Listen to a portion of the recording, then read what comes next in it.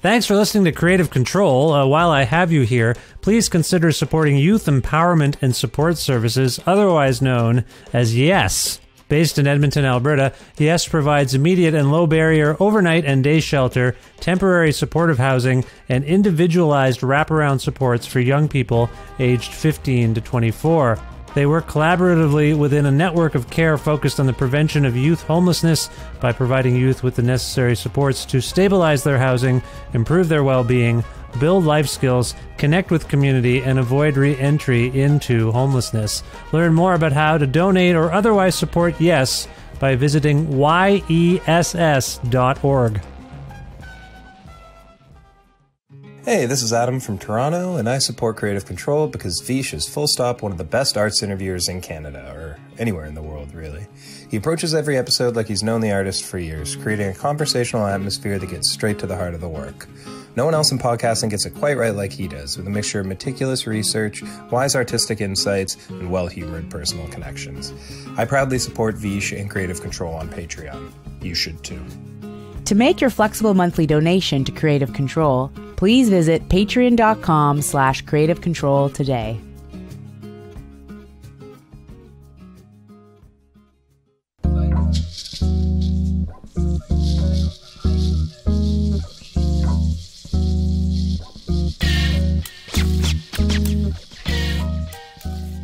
Adam Horovitz is a gifted multi instrumentalist, writer, MC, producer, actor, singer, and nice person who currently lives in the state of California.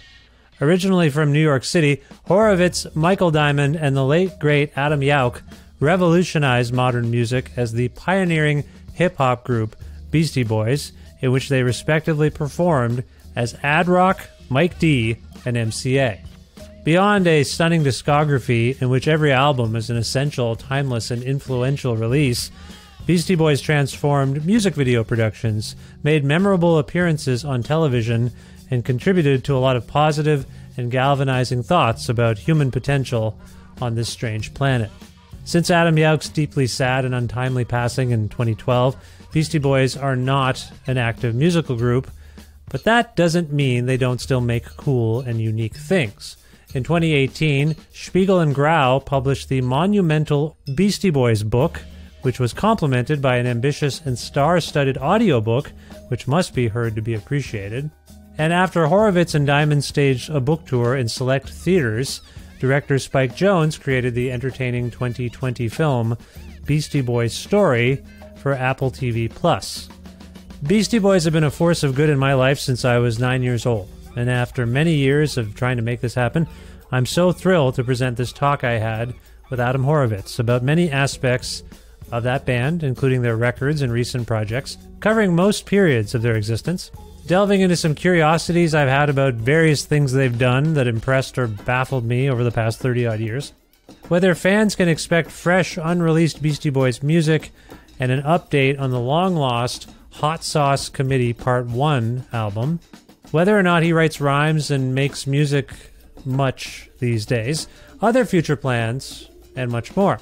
A part of the Entertainment One network with the support of listeners like you who follow and subscribe to this podcast and spread the word about it and make flexible monthly donations at patreon.com slash creative control, which is the primary source of revenue for all the work that I put into this podcast. If you can support the show financially, uh, like I say, it's flexible, it's monthly. You can learn more about how to do so at patreon.com slash creative control. With additional support from Blackbyrd Myoozik, a well-stocked record store with locations in Edmonton and Calgary, Alberta, and very friendly staff will help. They'll help you with whatever you need, really, if you go see them in person. Or, hey, if you want to order something using their website, blackbyrd.ca, you can. Say you want to order, uh, I don't know, the entire Beastie Boys discography. Well, good on you. You can, maybe. I don't know. Type in what you want at blackbyrd.ca and they'll either be able to deliver it to you or keep it in stock for you and then you can come pick it up. Thank you to Blackbyrd Myoozik. I just want to say that. Plus, in kind support from Pizza Trokadero, The Bookshelf, and Planet Bean Coffee in Guelph, Ontario, and Grandad's Donuts in Hamilton, Ontario, with extra special thanks to Guy and Kathy for hooking this up. This is episode 770 of Kreative Kontrol, featuring the lovely and talented Adam Horovitz, also known as Ad Rock from Beastie Boys, with your host, me, Vish Khanna.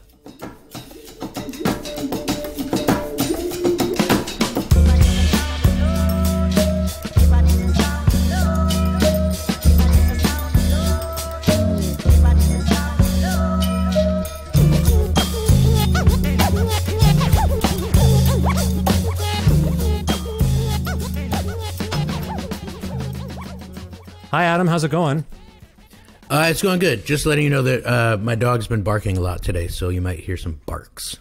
Oh, that's fine. Uh, I'm a fan of dogs. What's your dog's name? Terry.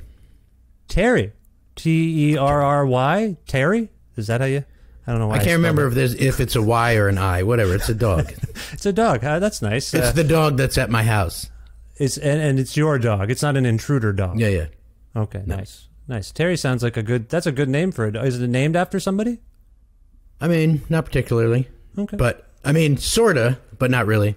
Sort I mean, of. kind of. We've had the dog for a while, but you know, Terry obviously like is you know, Terry Hall from the Specials Mm-hmm. is you know my probably my favorite Terry. Yeah. I, I can't even think of other Terrys uh, off the top of my head that aren't hockey players. So let's go with Terry Terry Hall. Teri Garr. I don't know. Terry, oh, I'm trying to- I Teri Garr. That's a. T E R I though. See, that's Yeah, a yeah. different. That's So I why I asked. I it was re- it was germane that I asked. Anyway, it's very nice, incredibly nice to get to speak with you.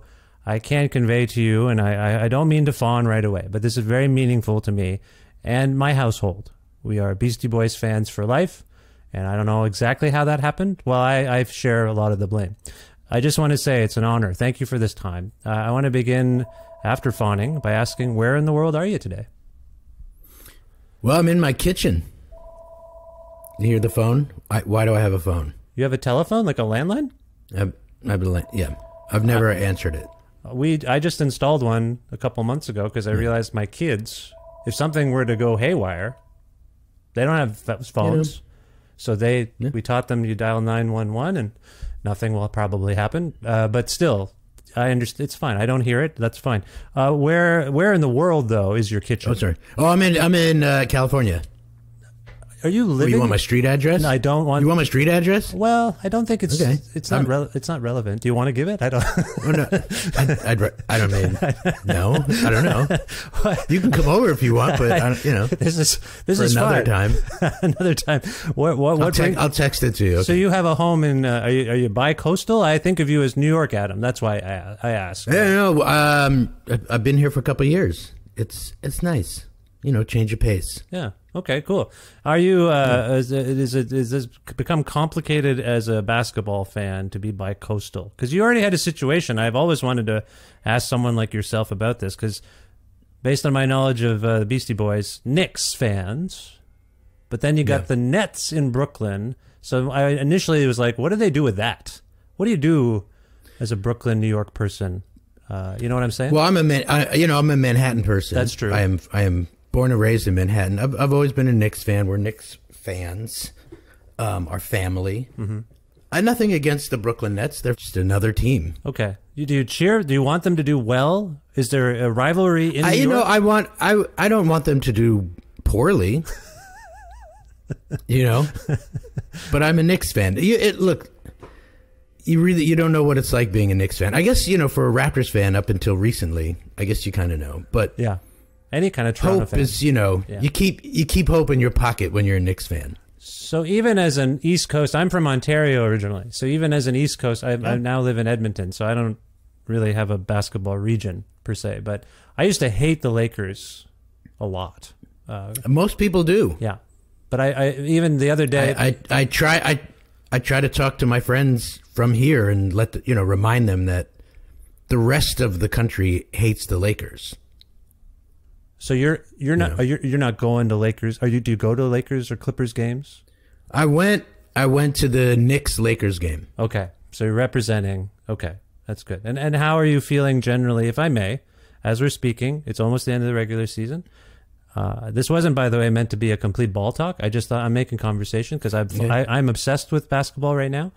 It's been a weird season, I find. Uh, how are you finding the season? How are you finding, by the way, Knicks doing surprisingly well, I would argue. Uh, how are you feeling about uh, basketball right now?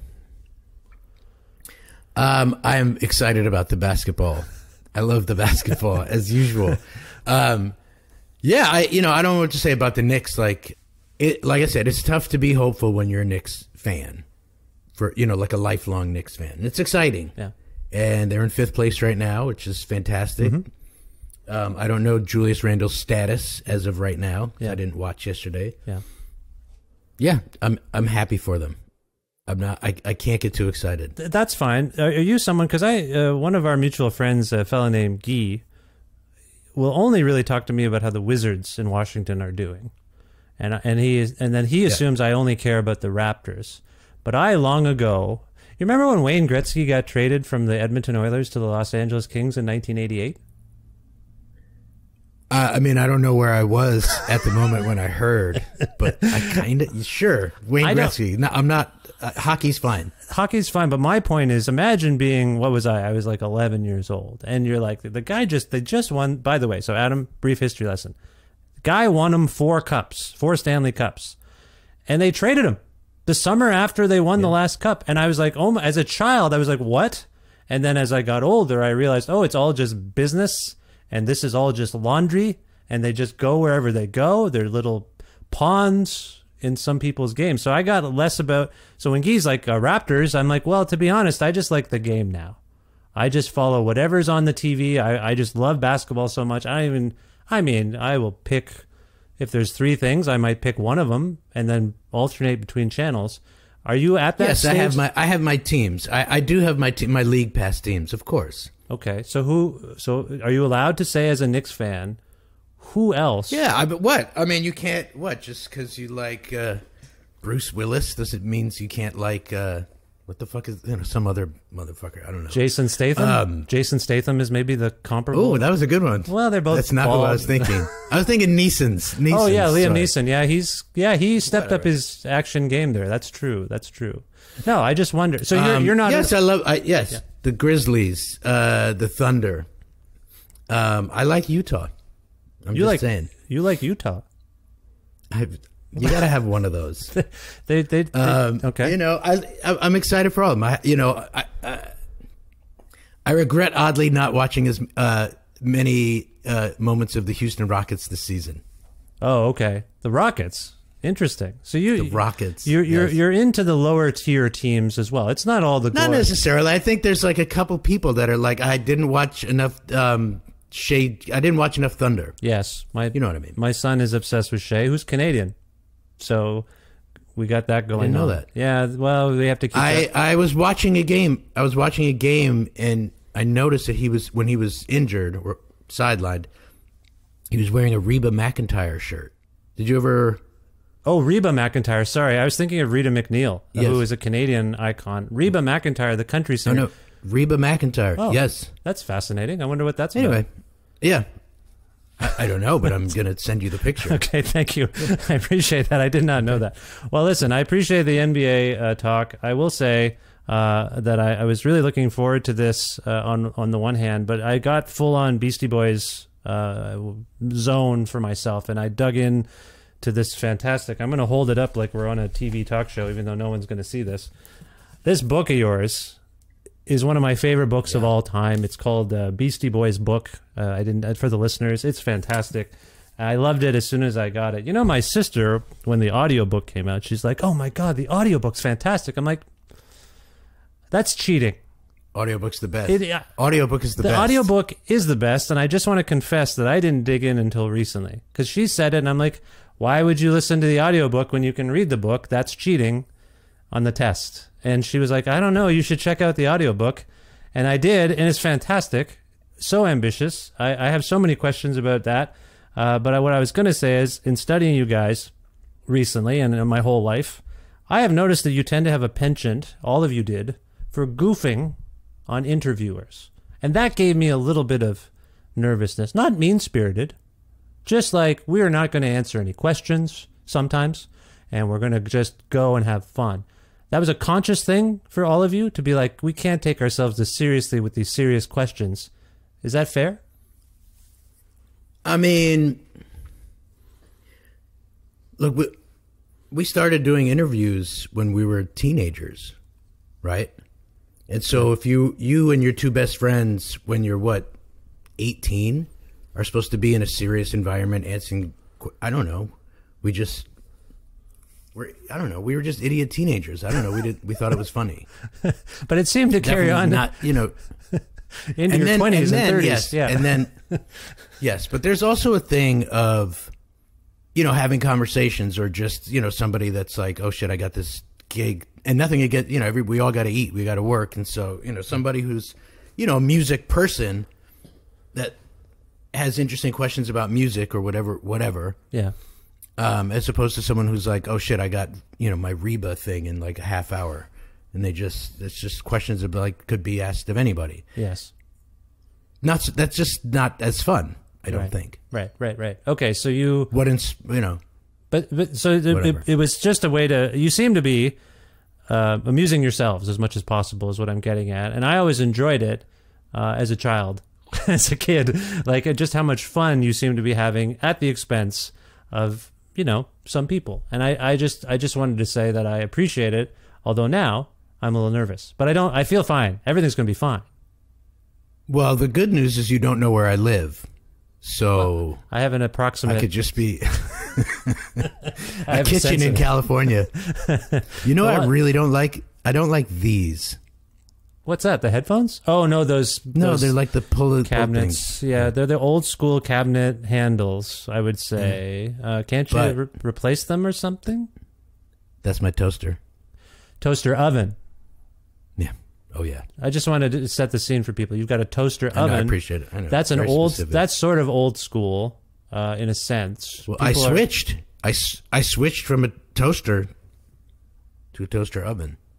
You switched completely. I used to have both. I used to have both for the toast Oh, on. and the Pop Tarts, and then the toaster oven for the reheating of. I hate microwaves. Always have. Yeah. Do you like microwaves? Uh, I do now. I never had one growing up. You you like them now? I Sure. I, I thought I think Oh, I got my first one when I was like 32. Oh, okay. Well, I I just want to say I'm team toaster. I only say this because they're relatively the same shape. Team toaster oven over microwave is what I wanted to, to mention there. Uh, so I'm glad you, you highlighted that. My point was, You know, gonna- I, I, I have a I don't have the time. You know, I've just got this and that to do. Yeah, I'm sure. on the go. but you can't put like a samosa in a microwave. You can't. It doesn't. You can, you can. It's No. just soggy. Uh, you know what it is? I've grown to appreciate soggy food. But I like if a food is meant to have a crispiness to it. I find the microwave, and I'm not a scientist, but it sucks all the good yes, juice, like the good stuff out of it. It's it microwave. It, Yes, wait, yes, yes. So I that- have I have microwave samosas often, to be honest with you. That's a travesty. And I'm so a, it's kind of like a kind of damp ball. It, Pretty do, good, though. Do you hear what, how you're talking about my people's food? That's disgusting. Look, you'll see. After after age fifty, man, it's all downhill. you know, you got to watch out for your teeth. oh, that's true. I don't know. That's true. You want it soggy. Uh, no, this is good. I want to talk to you about uh, this book then, because we've talked a little bit about. Uh, here's the thing. Here's what occurred to me. Sometimes when I heard your voice on the audiobook is, and I watched the the Spike Jonze uh, excellent movie and all that stuff. Sometimes you talk about stuff that happened to you guys, like you can't believe any of it happened. Do you know where I'm coming from there? Mm-hmm. Like that's a common theme. Like you, all your stories are like that in the book. I feel like you won't believe this. Are do you believe now? Like, can you can you grasp that this has happened to you, or does it all still seem sort of surreal? I own a house. I have a fucking swimming pool. I don't know. It's crazy. I don't know what else to say? I don't. Also, listen to our records. They're not like. I don't know. They're weird. They're. It's not like we have pop ballads or I don't know. Yeah, yeah. Well, it's. Wait, who the fuck is trying to call me right now? Oh yeah, I I put my phone on do not disturb. It's not me calling you somehow with. Also no, okay, it's, not like a David Lynch thing. Yeah, no, I get it. I, It's just. It's my. It's my grandmother. She's in the hospital. But oh my god, forget it. I'll just. Call I'm back. sorry. I'm fucking. I'm kidding.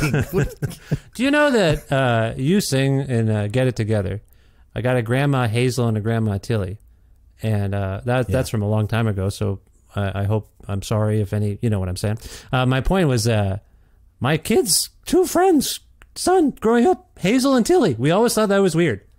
Anyway, this I'm all over the place. Isn't that odd? Don't you think? See, you you talk about surrealism. I think that's weird. That's very weird. What I mean, Two friends. what are the odds? What are the odds? He's Hazel and Tilly, and they were his friends. And I and in, in Ontario, and I'm just like, what the? Anyway, we also love get it together. My wife uh, thinks that my son they has, uh, Quebecois? no, uh, Tilly was is short for Matilda. Hazel is Hazel. No, uh, my wife and I were just talking about how my son's predilection for Beastie Boys may emanate from the fact that on a couple of occasions, my wife and my sister and I have performed to get it together live uh, with a band. I'm sorry. I'm What? sorry. What? What? Why? Why the apology? That's a fantastic song. No, no, it was to the audience. I'm sorry. Oh, I didn't mean Jesus! So uh, I didn't even Oh, think of that. stop. All Uh, we did a right, good right. job, Adam. I think there's really footage. with a band. Yeah, we had a band, and I would. It was for my sister's birthday party, uh, her thirtieth maybe, and uh, we did it on a couple other occasions too because it was a bit of a hit. And we, it was three people doing Yeah. four people's parts, so we would we would alternate. I would start as Q-tip, and then it was anyway. Yeah, my son. We think is that's probably legit, right? In the womb, mom's dancing and singing a Beastie Boys song, hearing it a bunch of times. Are you a- actually asking me that? Because I don't actually know. I'm asking you as a professional. I, doctor. Not, I've never studied. I've never studied in utero uh, like anything. So I don't. I appreciate that. No, no, that's fine. I just I, I, I, I will pepper this conversation with a little bit of fawning and uh, connection. I apologize. My thing about you guys is, I think it's uh, Kate. No, it's Amy Poehler in the audiobook talks about how when she's watching your videos, she you remind her of the Three Stooges, and it seems to me that you were in the early days uh, satirizing something and people didn't get it. Is that a fair way of putting it in terms of your relationship to comedy? Because you've always been very funny, and every day of my life, I just recite a a, a line from a random Beastie Boys song, and it makes me smile and laugh inside because the comedy is so apparent. But I feel like on some level, you were a bit stung by people not getting the joke at various, maybe at various points in your career, but certainly the early part. Is that a fair assessment? Yeah, I mean, yes and no. I, I don't know. For the Licensed to Ill, for our time with Rick Rubin, Yeah. we definitely, you know, put on characters, and we're, you know, being Three Stooges, and you know, and I write about it in the book. It's the sort of thing of we are making fun of a thing, and then you kind of become the thing that you're making fun of. Yeah. Um, so I think we had to step back from that, and that doesn't mean that it wasn't fun or things weren't. It wasn't funny, but I guess it wasn't that fun. is what I'm trying to say. Well, I gather that from all the stories And you've trying to act, you know what I mean? Like trying to act like a certain thing is a bummer after a certain time because then you're not yourself. Yeah. So when you do Paul's Boutique after that period, and you're, I guess you were reinventing yourselves. And I was struck by the fact that, you know, when you guys tell the story about Paul's Boutique and, and flopping, is, is that the wrong word to use? Commercially flopping? Bombing? What's the right word? It's it's all perspective because it's sold, you know, whatever, like half a million copies or something. Seems good. That seems really good. seems it seems fucking fantastic, Yeah. but You have a house and a pool and a toaster oven. That's fine. Half a million people helped you get that, at least. Look at that toaster oven. It's gleaming. For And those I who can't see it, it's shining. Yeah, no. My point, though, is what I occurred to me is because you talk about everyone now views Paul's Boutique as a masterpiece in hip hop, a pioneering record in hip hop.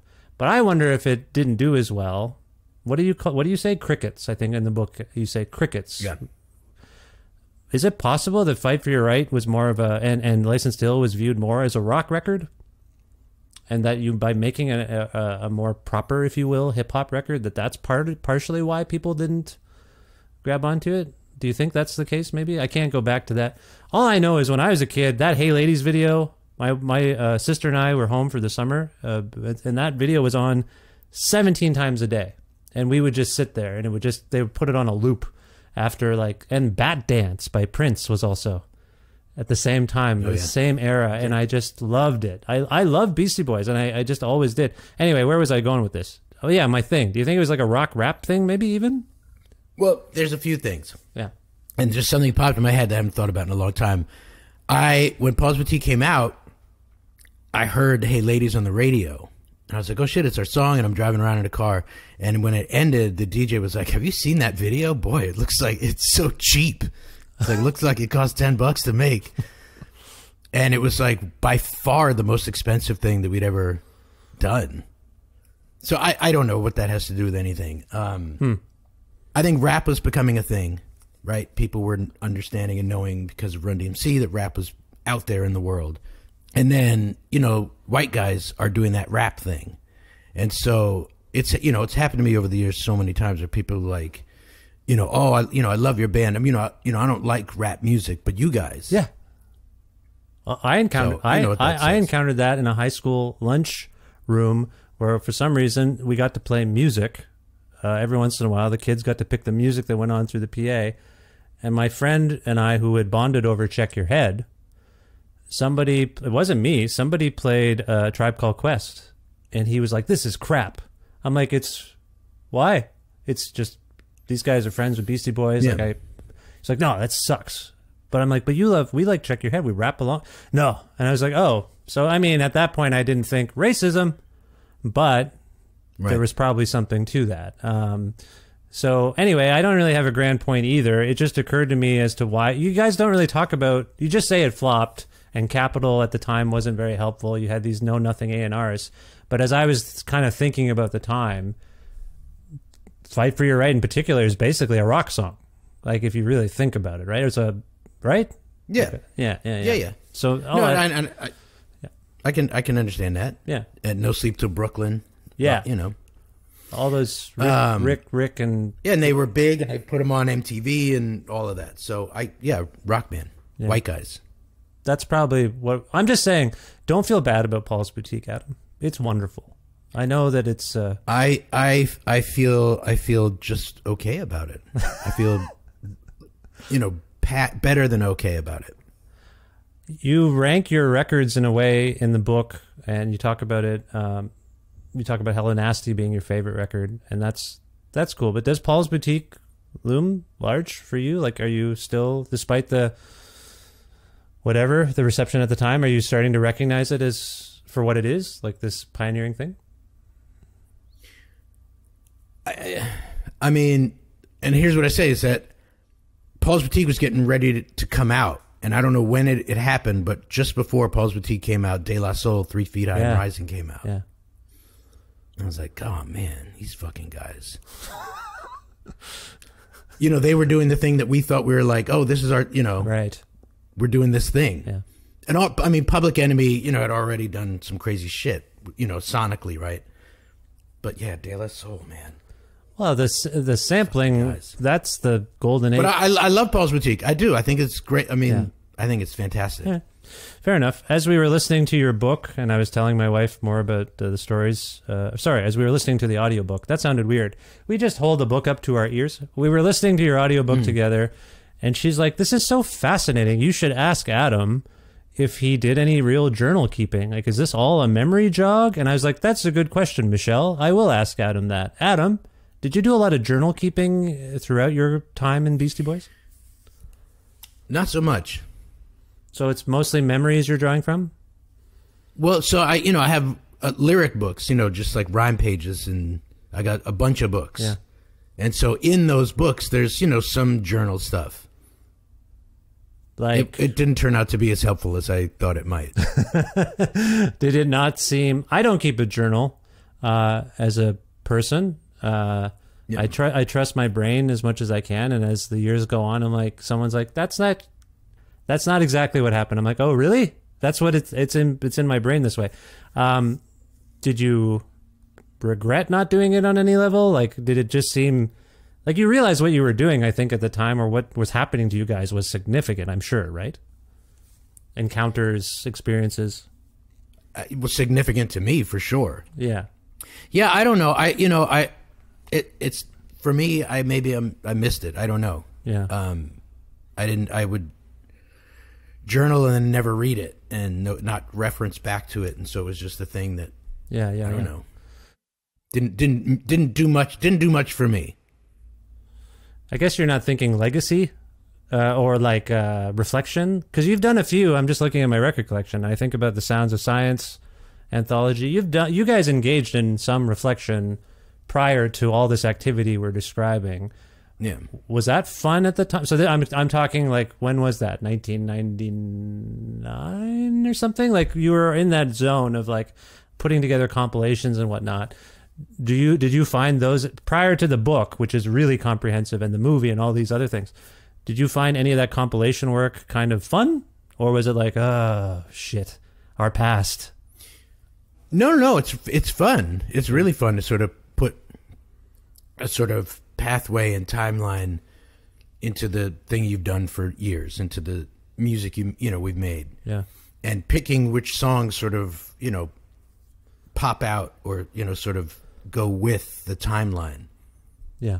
where we were sort of at. Like if we were going to put, you know, uh, Fight for Right to Par- Fight for Right to Party wouldn't be the one song off of that first album. You know what I mean? There'd Yeah. be, you know, Hold It Now would be a more important song to me. Right. And so we try to just. I, I don't have no uh, memory of what are on our compilations, but I know we went back actually and did like these box sets a few years ago, and that was really fun because we started listening to all this like unreleased stuff that we had. Yeah. And that's fun. Like you're like because that's like oh yeah, Yeah, yeah. I, I was going to ask about this at some point because it, it looms large for me. I mean, you guys, for those of us who've collected singles, there's all these at least digital, if not physical, uh, deluxe editions of the records now. You've released a lot of stuff that is beyond the records we know.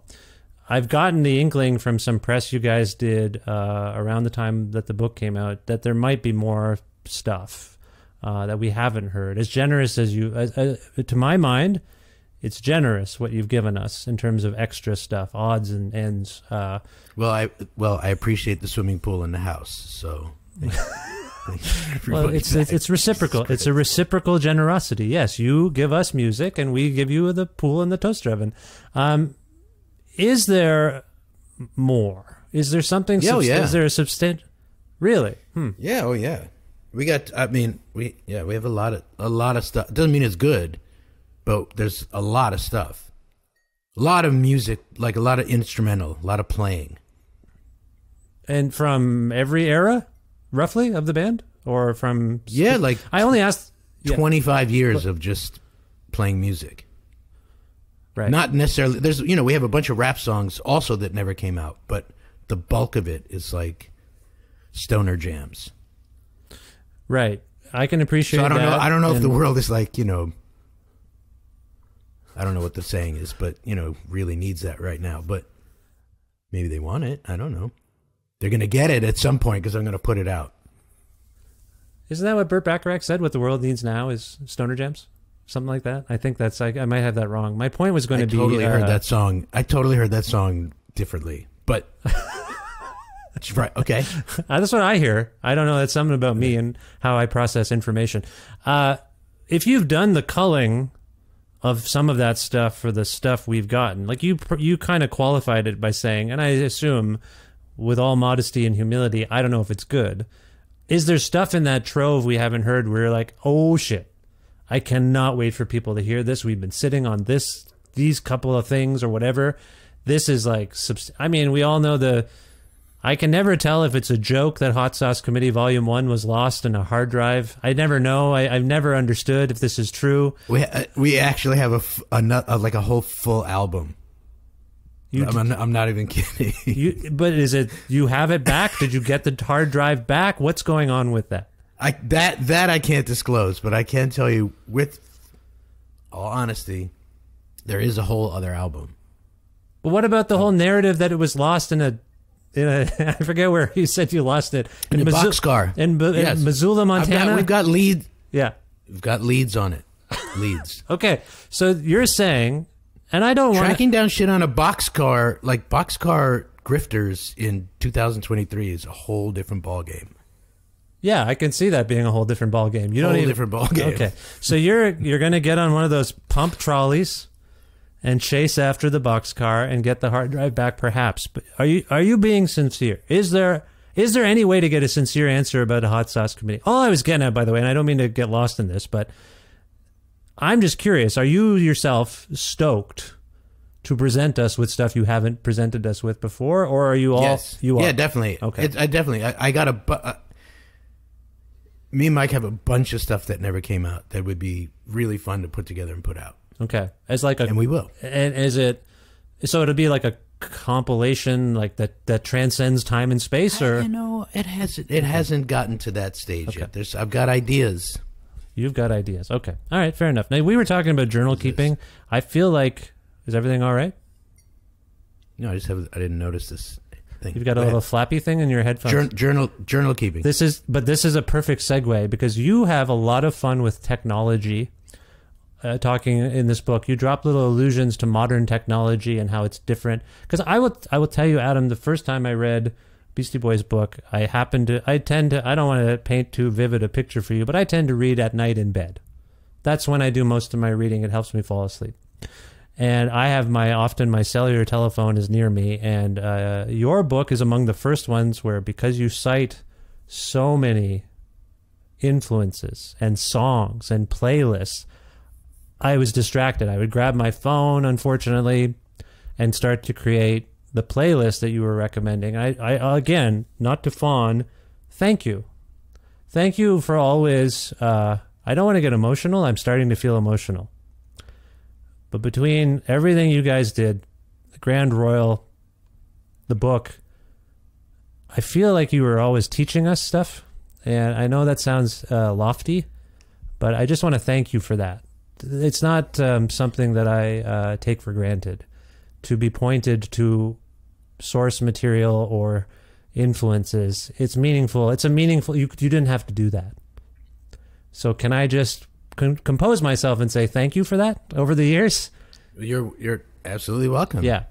Where I was coming I just it's just when you say teaching is that I barely graduated high school, so that's I, I think that, you know part of the thing about about talking about so much music and musicians and bands and songs and all of that is just because we grew up sort of making tapes for each other. yeah. So it's a sort of thing to put out there Yeah. you share with each other. No, I, I I I value. I love that you scan your tapes in the book. Uh, the the cover. By the way, I can't read a goddamn word. It's it's chicken scratch. I'm sorry. Is that offensive? It's your scrawling. I can't. I'm like, am I supposed to know? Do you? Can you even read it? Your own handwriting? Not not not always. I'll say it's it's better than my brother and sisters. That's fine. I they're not. I don't know why you threw them under the bus. They're not here to defend themselves. I don't know. Well, because at least it's it's it's there's worse is all. Oh. I see. That's that's one way of looking at life. It's all, it could always be worse. Where I was coming from though is I didn't really until reading the book, it didn't occur to me how technological your band has been. In terms of sorry, how interested in technology and on the just on the forefront of trying Yauch in particular would just try shit. It seemed Yeah, I was going to say that that was never me. So the whole thing with Ian Rogers in the book, there's a whole thing with our friend Ian Rogers about bringing the internet on tour with us, mm-hmm. which I did not understand at the time. I was like, okay, if that Ian guy wants to do the thing, then sure. He, you know, I mean, we're, I didn't mean it like that Ian guy. I didn't know him so well back then, but I didn't get it at all, and I didn't understand why Adam and Mike were so enthusiastic about it, and it wasn't for me. Looking back, maybe I, I, sh- I could have paid attention. But you're you're talking more, about you're talking about the internet and a guy trying to build you a fans or a, a website. I think right. Is that what you're kind of alluding to mostly? Ian Rogers, yeah, yeah, What I'm Yes. talking about though, it's in the book. yeah, that is in the book. What I'm talking about is you have the opportunity. Uh, you're given some money to go buy a Rickenbacker guitar. I think you're given 250. That Rickenbacker's got to be worth more than that by now. By the way, I'm riffing on memory. If I'm wrong, you fact check me out. Right? No, no, no. You were Yeah, you yeah, were yeah. you were given money to buy uh, a Rickenbacker for two hundred fifty dollars, but you chose instead, as I recall, to buy a drum machine. Is that correct? Yeah. And it was an eight hundred eight. So, so in the in the book, in, in my life, it's a longer story, but I acquired two hundred and fifty dollars cash. and It's uh, very sorted, everyone. If you read the book, you'll see it's Right. it's a sorted You situation. read the book. Yeah. And so and so I wanted to get I had a, a shitty guitar and I was like, "Oh, what if I had a, a a cool guitar like, you know, Paul Weller from the Jam?" And so my mom's friend had a uh, a used music store and I would go up there and hang out time to time and they had a Rickenbacker just like Paul Weller's for 250 bucks. So I went up to the store to buy the guitar. Right at the counter was an 808 drum machine. And I don't know it I, honestly, I, I don't actually know what it was. I just was like, oh, rap music. They they make music with these drum machines these days. I'm gonna try that. So there you but go. that that's not just Yauch then. So you, I get it. Yauch uh, was uh, such a brilliant guy, and and and by all accounts, and would try things, and f- fuck with things that, in ways like he would take a. My I'm a drummer, so one of my favorite stories is the story of him trying to emulate the John Bonham uh, drum kick drum sound, and and you guys create him spearheading it. I understand creating this 10 foot long cardboard tube to get this amazing sound and putting PZM mics, I think, inside of it. And I'm like, oh my God, that's genius. What a genius. And I know that you, sorry, Adam, I, this, I'm not meant, I'm, I don't mean to uh, assume too much, but I do sense that you are a very humble fellow. I think you are also, every time I read something about how you had a little booth and you chopped up a beat and you cut this up and you sampled it, you are technological. Is that a fair way of putting it? I guess. I, I guess. Yeah. I feel like I'm late to it, but you know. But how could you be late to it? You to be with this band, you were always on the forefront of things. You, sorry, I have this argument, and you're gonna hate me. You're not gonna hate me. Why would you hate me? I'm a nice guy. Don't hate me. But my my argument is that for a certain generation, Beastie Boys were as culturally pervasive and influential as we believe the Beatles were in terms of changing the way people made things, sounds, the way I dressed was informed by Beastie Boys. It's just, and I know I'm not alone in this. So all I'm getting at is, you guys, I think, are humble punks, which I have always appreciated.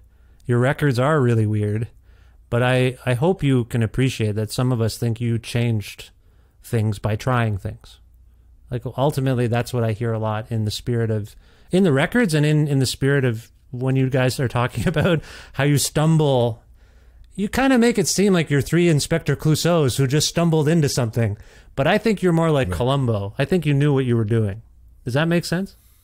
I mean, I think it's definitely a combination. I mean, you can't, you know.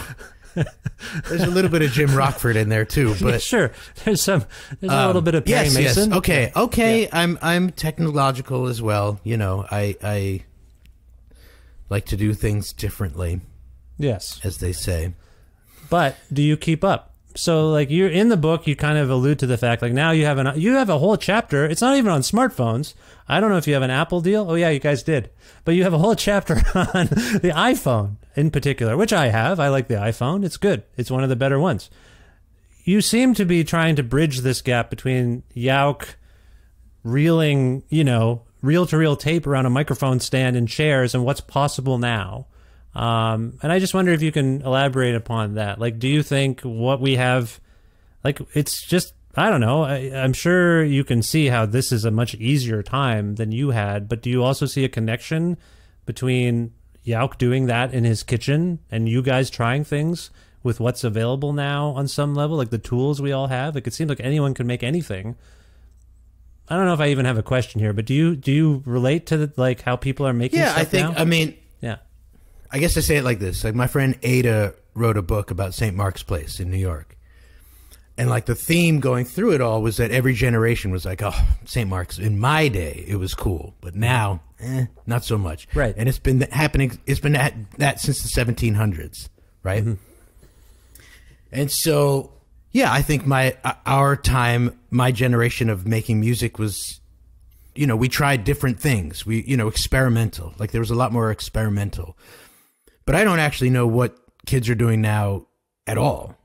You know what I'm saying? Like if if they there has to be experiments happening right now that you and I don't know.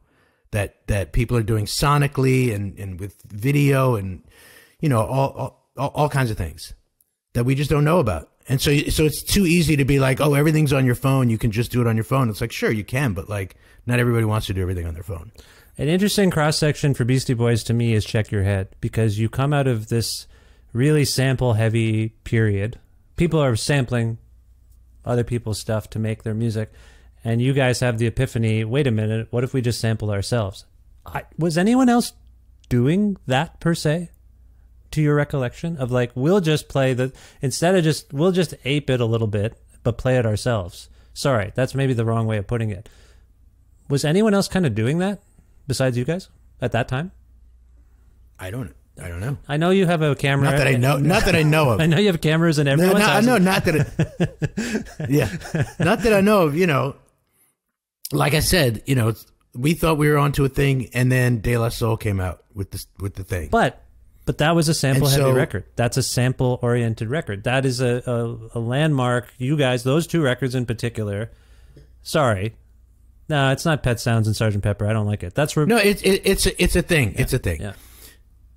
All the best early rap records have a live band, Yes. right? Right. They didn't have drum machines, and so Right. they. So we were just trying different things. Whether we're certainly not the first rap group to have a band, and it's probably not the first. You know, plenty of samples that people did, but you know, I don't know if we were, if we weren't, you know, one of the first, you know, rap groups that was a band that played our own music that did the, you know, did the whole thing. I see. You you you always seem to have reverence for the early days of hip hop. I mean, your style as MCs was always, you know, reflective of that. I'm just getting at from Check Your Head onward, it felt to me that you were always looking at whatever conventional ways of making music. Just I by that I just mean playing instruments. I don't mean anything more than Right. that. Uh, but again, you call what is that you call Yauch uh, Mr. Fuzz Pedal?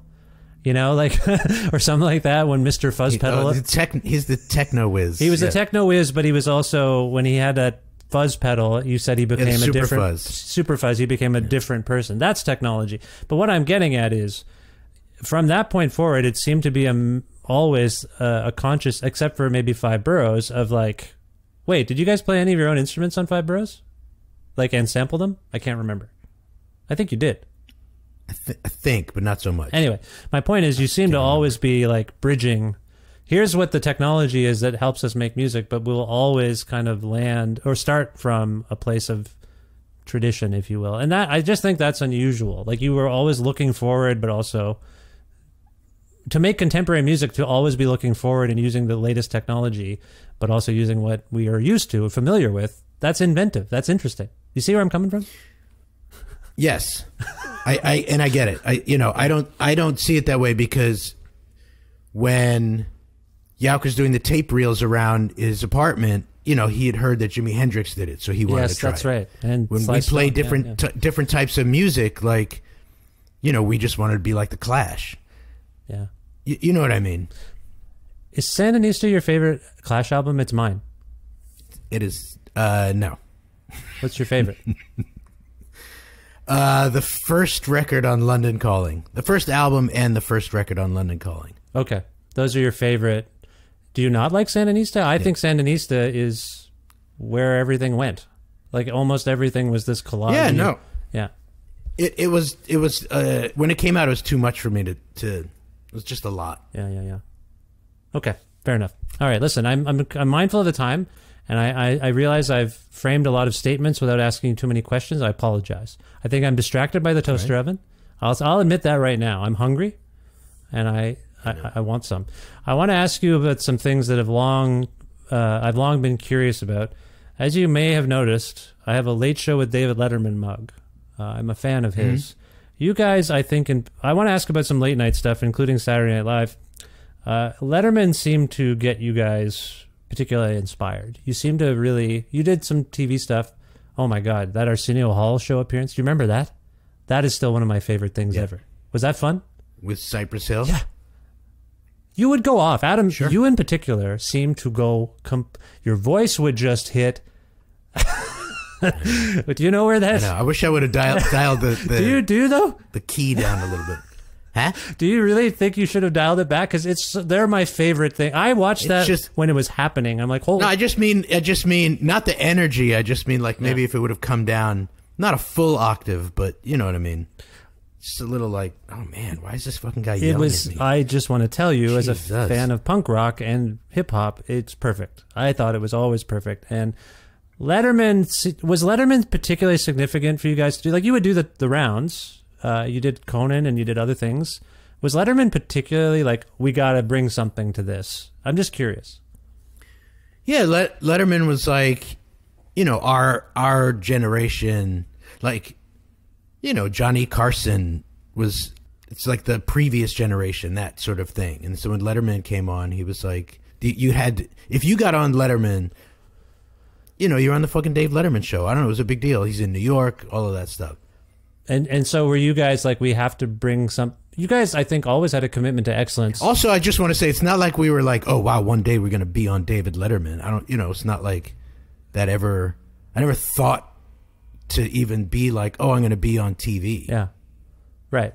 It just sort of happened. No. and it just kept happening. I, I appreciate that, but at some point, it seemed like from you, you had the very ambitious uh, check it out video, which looks really fun, and they they recently reposted that on the Letterman YouTube channel in sort of higher quality, and it looks great. And then you had the uh, appearance for "Awesome, I fucking shot that," where it just seemed like you would bring things to. The, there's uh, one of my favorite television moments of all time. Yauch chest bumping Dave during at the end of Sabotage. oh yeah, Do you remember that?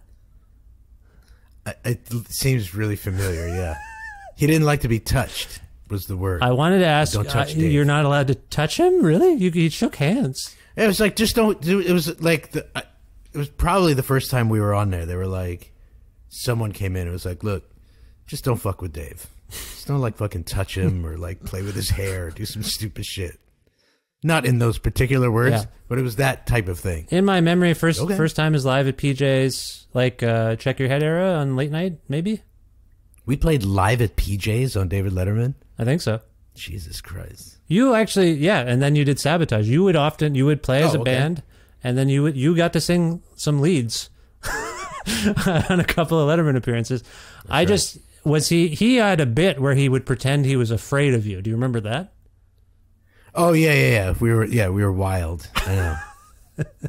But did you know. did you I don't inter- I don't know Dave Letterman. I you know don't- what I mean. did you interact with him at all and uh, uh, beyond the handshakes and the whatnot, or did you? that no, that's it. Okay, Uh, I've said this so many times. The, the best, and no offense to whoever, hands down, Joan Rivers was the best talk show host we had ever met. really. Like, no question. She was fucking awesome. She liked you guys, and She was awesome. She's running down the hall. Who's from Brooklyn? Who's from Brooklyn? so cool. She was she great. she uh, did not like the album title "Licensed to Ill." She preferred "License to Kill," as I recall. Do you remember this? Oh, I don't know. She could have given a shit about her music, I'm sure. You would take over though. You sat on her. Uh, you guys just. You, you, it, I loved every late night appearance you guys did. It was always a, an event for me, and it's always seemed to be an event for you. And the Joan Rivers one, for those who haven't seen it, is very. It's. I think it's on YouTube. You can watch it. Um, yeah, I, I like. Uh, I, I. You had an comedians. She liked. She was a bit of a punk Just rocker comedians. too. Just, She's she. we're just riffing. SNL, Saturday Night Live, was that? You say you weren't aspiring to be on Letterman, but was that when you got the call or whatever? I don't know what the process was like if you'd long wanted to be on that show, but that's a big New York institution. Were you excited to be on that show? Yeah, Saturday Night Live is a huge deal. Huge, huge deal to be on Saturday Night Live. I, I for me, you know, and I'm sure Adam and Mike just uh it, you know, it's a New York show. We're from New York. We grew up when it grew up. You know, it's just like a big and to be on there a bunch of times, fucking crazy. How many Yeah. times were you on? I remember, and tell me if I'm wrong, because some of it may have slipped past me in my youth. I feel like the first time might have been for ill communication. Were you on before that? I don't know. If you don't know, who would know? Fucking internet. I don't know. I remember from my memory that might have been maybe there was another one. You wouldn't have done it in the I don't know. Anyway, let's let's forget that. Well, maybe you did it in the 80s. I don't know. But my point is you're on there and you do Sure Shot. And Adam, uh, back to the Arsenio thing, you are amped. You are on Fucking- fire. It's amazing. Memorable. Memorably amazing. But here's a thing that I noticed, and I don't think they did you added fucks to the song. You added fucks that aren't on the song. You swore more. And then Yauch looks at you the first time you did. Won't you fucking listen? And then you're wandering around and he smiles at you because he's like, oh no. Then he adds a bullshit to the bullshit Mike part later. What was with all the cussing at him on live TV? I know. Was that toilet was it toilet tongue. I don't know. I don't know. You said I was amped.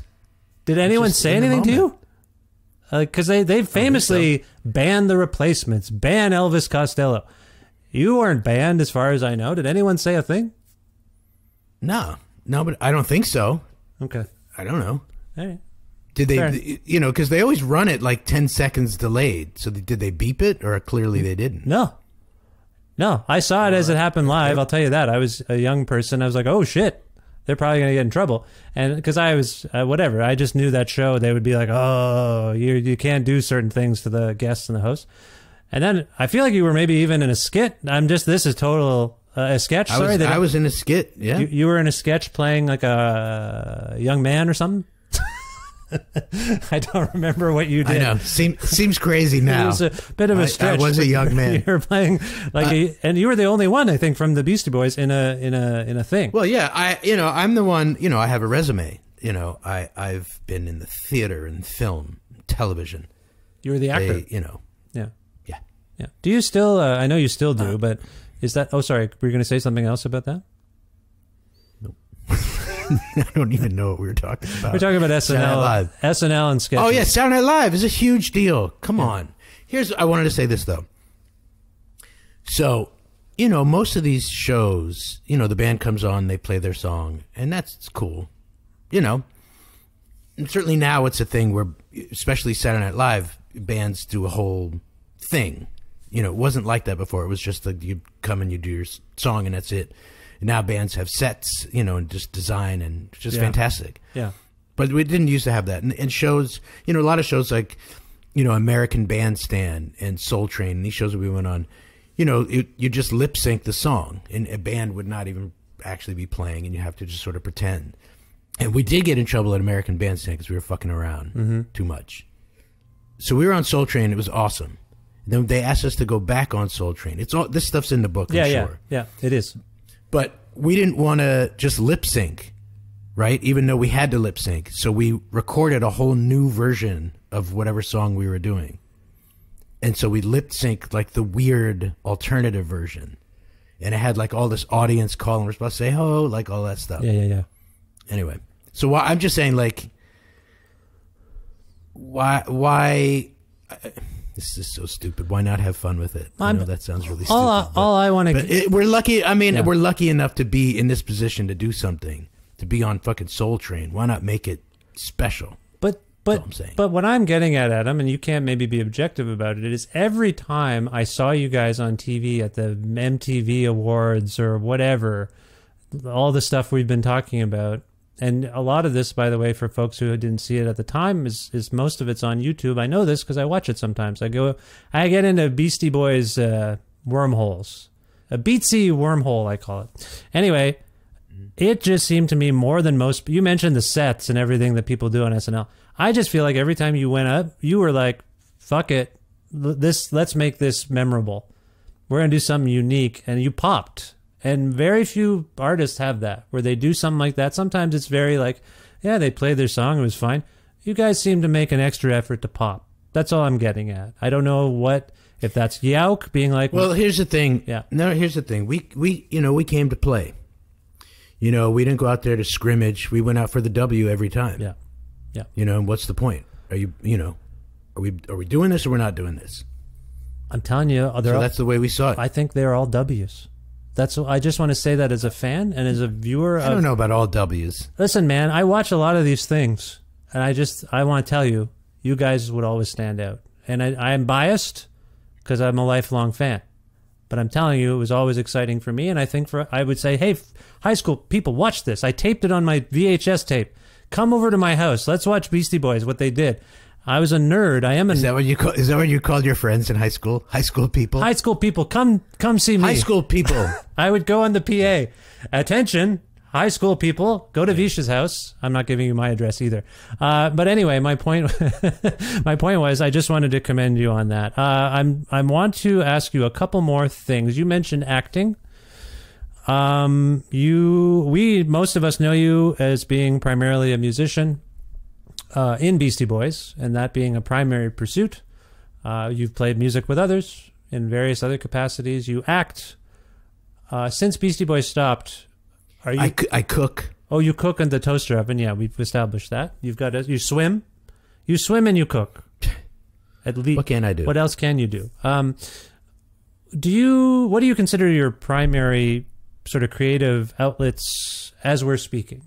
I've long wondered if For those who don't know, and it's in the book, and I didn't quite know this until I read the book, that Beastie Boys write rhymes collaboratively. The thing you heard, if you heard Adam Ad-Rock say, I think twice before I start flossing, I've been in your bathroom often, you would laugh and think, oh, that Adam. But it could have been the other Adam. It could have been Mike, right? Like you guys would write together in that capacity. Is that correct? That was mine. That was definitely mine. I'm just taking credit for that stroke of. Mention Crawl Space real quick because I just think, I know you don't love that record from what you talk about in the book. I ca- I am saying that you are absolutely the only person who's ever mentioned that song, ever, and that is the hit off that album. Like if you ask me, ask Mike, ask Adam, that's the best song on that whole Okay, record. I I loved I love. And no, and you were literally the only person who's ever said anything about it. what does that good or bad. What does that say to you about me? Does that make you? Uh, It makes me feel connected. okay, good. I love that, like a floss in your teeth, uh, with between your fingers. We're connected. I I just think you guys were very funny. What was my point there? Oh yeah, you would write collaboratively. Have you written a rap since uh, the Beastie Boys stopped uh, functioning yourself? Uh, probably not. Yeah. Probably. I don't know. Yeah, I'm sure I have. You know, I I write things from time to time. Yeah. Now that I'm a you know New York Times best-selling author, Yeah. no, so you know I, I keep the word docs open. So you will occasionally you will have these impulses to write rhyming words. Yes. Okay. But what happens to them? Do you record them? Do you do anything with them per se beyond getting them out of your system? Not so much. Okay. I w- maybe I will, but I haven't. Okay.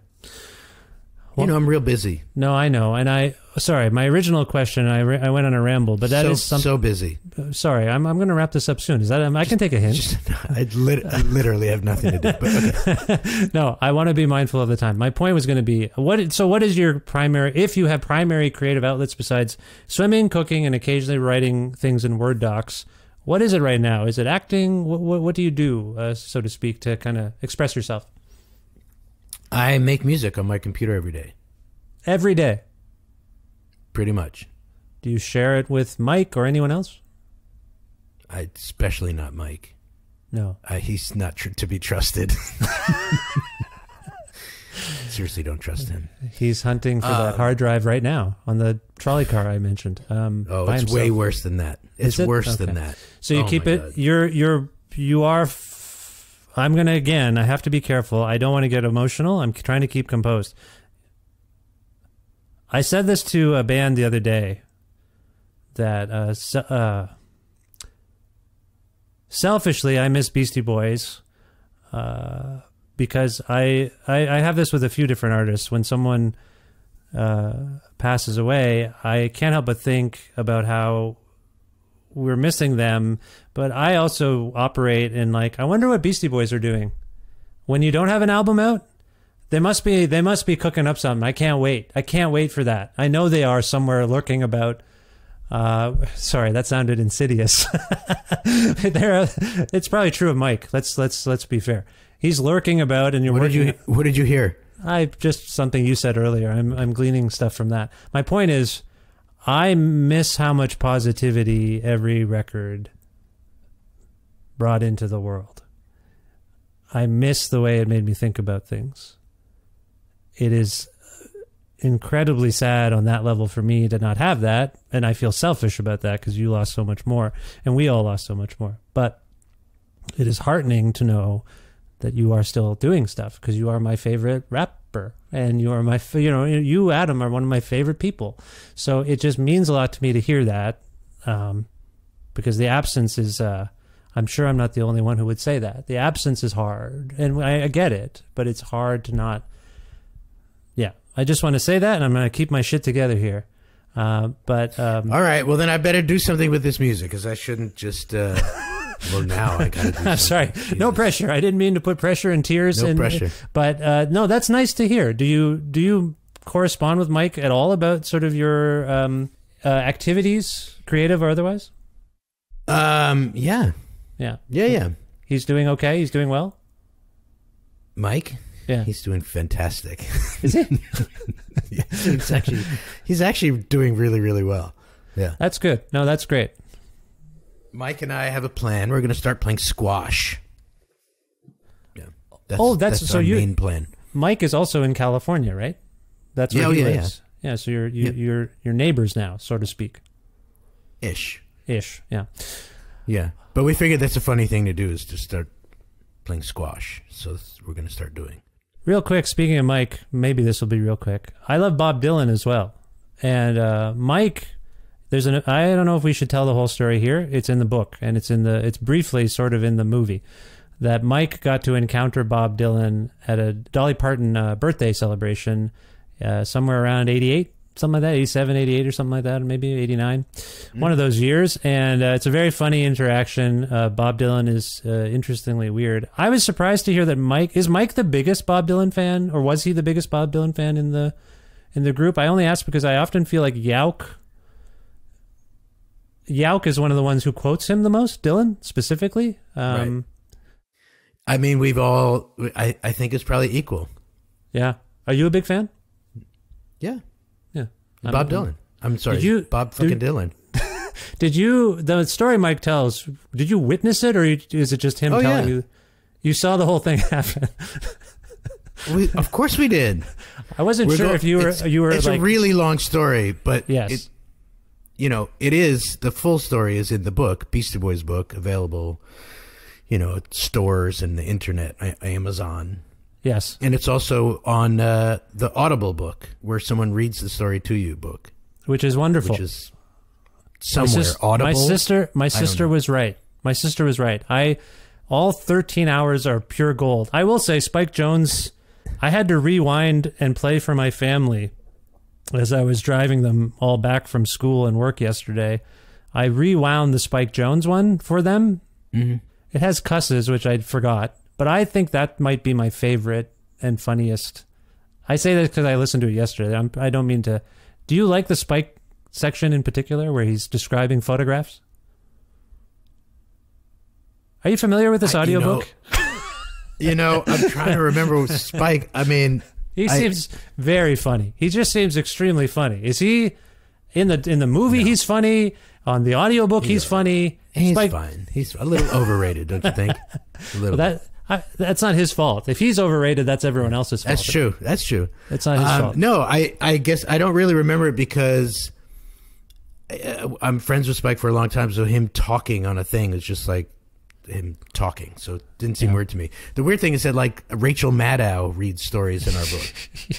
Do you know what I mean? Like It- who conceived of the audiobook to be this elaborate? Because my me, wife, you specifically, me. Yes. you made some calls. Why have a, just an audiobook with me? And who wants to listen to me and Mike talk for fucking 13 hours? It is in that also is an incredible feat. Congratulations. I know I was making fun of audiobooks earlier because I'm a, a, a jerk, but I think it's astounding that you put that you got that many people together to do that. It's a testament to you guys, obviously. So yeah, good work on that. Well. I really, I'm proud of it. I'm actually very proud of it. Were you? Did you have a hands-on role? It sounds like you don't even remember what Spike said. Just- Very. you were involved in all. Well, I don't. Re- I don't. I mean, I, I don't remember what Spike said, but you know, I was very hands on. Believe me. I, it's wonderful. Uh, I can't tell you how much uh, I love it uh, more than what I've already said, and I want to thank you, uh, Adam, for. I know the bo- the book came out, movie came out 2020. The book came out uh, more longer ago than that, 2018. So I appreciate you going through this exercise with me about something that I think uh, is still uh, needs to be processed. I described it in a review as like a book that felt like a mixtape to me. Does that make sense? I mean, we want the whole idea was to make it like one of our records, where it's just like Yeah. goes everywhere, just all over the place, Yeah.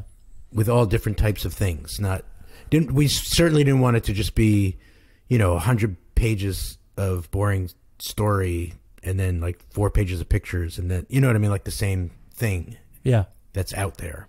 Well, like I say, to me, Yeah. it became interactive because I was adding all of the music you mentioned and making playlists and all the shit you're supposed to do and buying records. And Wonderful. Thank you, Adam. That's that's well, that's what we that's what I wanted to do. So You wanted me to lose some money, specifically. yes, That was your Yes, goal. I get a Vish, we gotta get Vish in Canada. Fucking spend a bunch of money on shit we think will. Okay, that's good.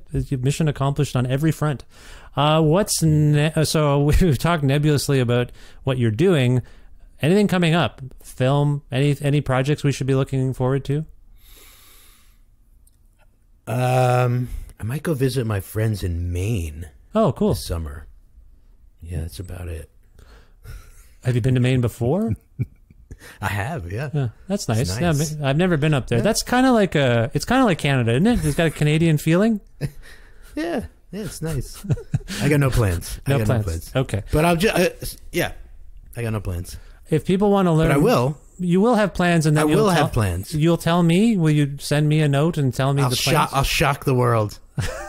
Sorry to be so heavy about the music. I I got. I was told myself no, to no. I appreciate it. compose myself. I appreciate it. And you know, and, and it's one of these things where I've got all these hard drives of all this music we have, and I'm like, one day I'll get to it. One day I'll get to it. So maybe, maybe I'll get to it today. Hearing a little prompt from a fan like me might actually there you go. get the toaster oven going, and you make some snacks, and then you'll actually dig in. No, it's great. I appreciate it. Uh, so this is a weird one, but if uh, people want to learn more about you and Beastie Boys, uh, one of the greatest bands of all time, uh, I don't get the sense you're a very active social media person yourself. Is that fair? Very fair.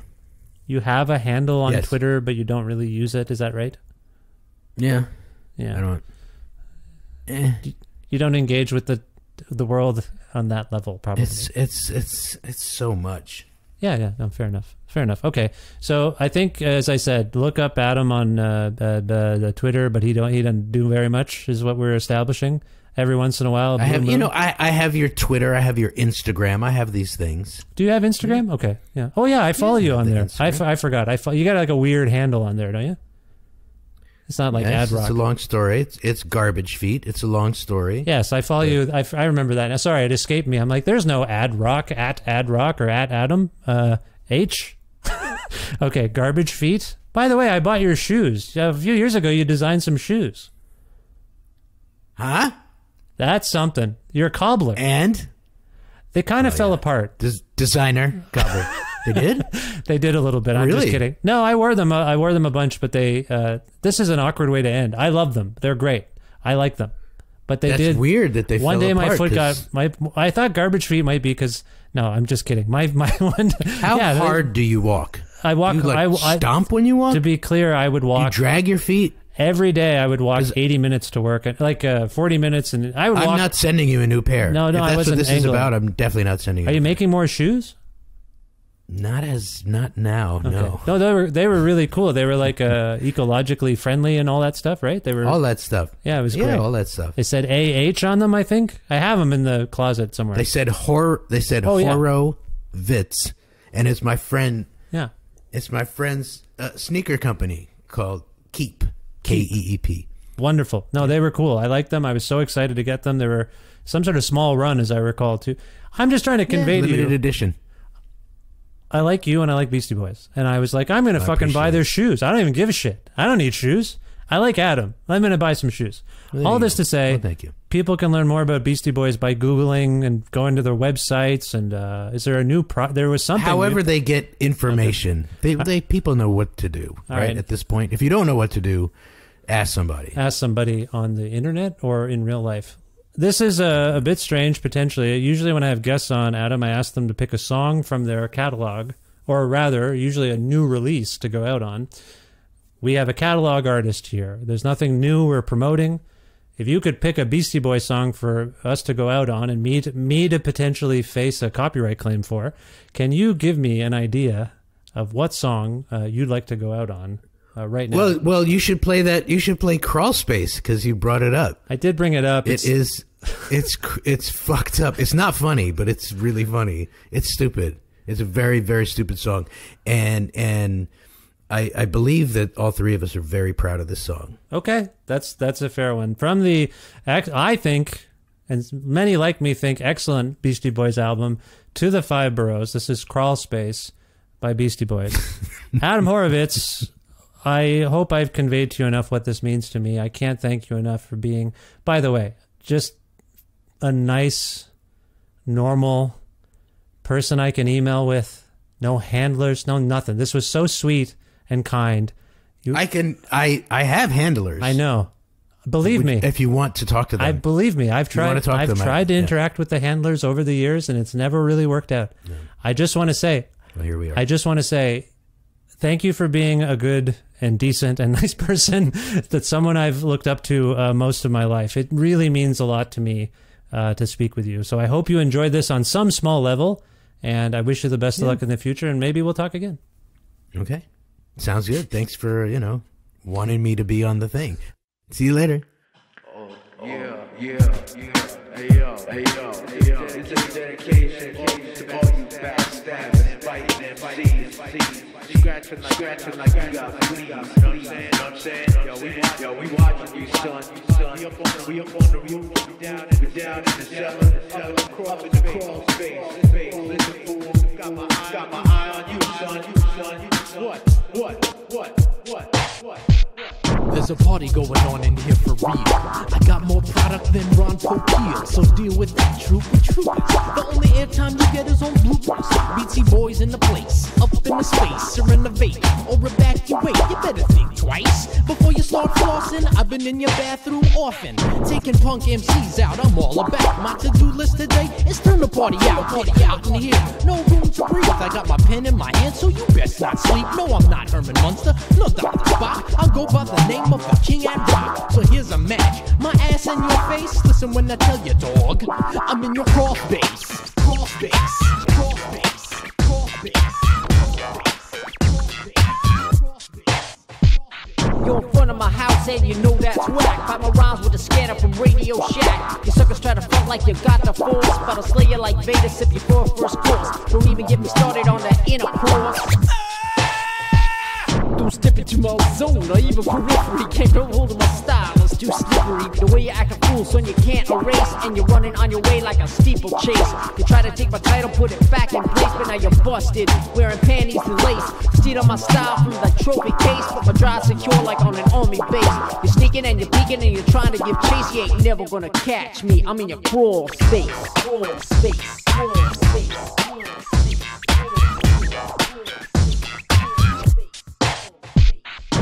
Schematics, blueprints, and microphone. Calibrate your sonar when I'm in your realm.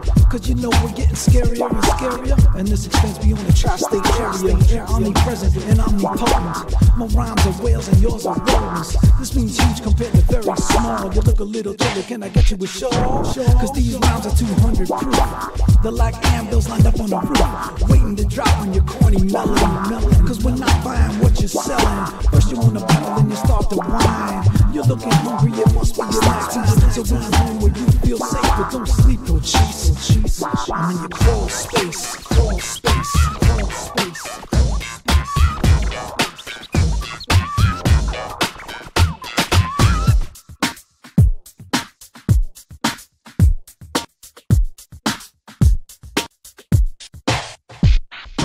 What was that about? You know, maintenance needs. Well, what can I say? That's a thrill. That's a thrill of a lifetime. I just want to thank Adam Horovitz. I want to thank my friends uh, Guy and Kathy for connecting me with Adam. And Adam, uh, I don't know what else to say. Thank you so much for appearing on this, the 770th episode of Kreative Kontrol. 770th, I say. Thank you to Adam. Thanks to you out there listening. Uh, Kreative Kontrol is part of the Entertainment One podcast network and is available wherever you get your podcast. If you can't find an episode you're looking for, if you want to learn more about me and sign up for my monthly newsletter, please visit vishkhanna.com. You can also like Kreative Kontrol on Facebook if you like, or you can follow the show on Twitter at Vish Creative or uh, follow me directly on Instagram and Twitter at Vishkhanna. You can also visit patreon.com slash kreativekontrol to make a flexible monthly donation to support this podcast. $6 American or more a month grants you access to exclusive content. You get episodes earlier, you get bonus stuff. Uh, if you want to receive a Kreative Kontrol t shirt, just message me on the Patreon there and I'll get you one while supplies last. And uh, yeah, again, it doesn't have to be $6. It could be any amount you want. It could be $4. It could be $25 a month. Whatever you feel is affordable for you and maybe uh, you know worth uh, supporting this show and keeping it going. It means a lot, so thank you, thank you so much. Thanks again to the uh, amazing Alberta record retailer Blackbyrd Myoozik, which you can learn more about and order things via their website there, blackbyrd.ca. Uh, they are located at Edmonton and Calgary in terms of uh, bricks and mortar. Brick and mortar? Is it bricks and mortar? There are multiple bricks. I don't know what that expression is. You know what I mean? They have stores uh, that are uh, buildings. And you can learn more about all of that stuff again at blackbyrd.ca. Also, want to thank uh, Pizza Trokadero, the Bookshelf, and Planet Bean Coffee, respectively, in Guelph, Ontario, and Grandad's Donuts in Hamilton, Ontario, for their in kind support for this show. Thanks as always to my friend Jim Guthrie for letting me use some music of his on this show. You can learn more about Jim at jimguthrie.org. and finally, I, I can't thank him enough. Thank you, Adam Horovitz, for being on this show. And uh, for those of you listening to this, if you head over to the, the uh, Kreative Kontrol YouTube channel at some point soon, if not already, you will see a very touching thing for me. Uh, my son, who's 11 years old, got to ask Adam three questions. We turned it into a little video, a little bit of 11 year old journalism, and it's great. It means a lot to me. My son, over the moon, cannot believe they got to meet and interact with Adam Ad-Rock Horovitz from Beastie Boys. And so it's a fun thing. So if you want to check that out. Otherwise, thank you for listening to this episode and for checking out Kreative Kontrol, subscribing to it, and following it and all that stuff if you can, and maybe telling your friends about it, and maybe they'll do the same things. Thank you. Thank you, Adam, Guy, Kathy. Thank you all for listening. I will talk to you soon. I don't even know what to say anymore. I'm so overwhelmed by this. Okay, I gotta go. I'm wandering away from the microphone. I'm just gonna talk this whole time. Okay, bye for now.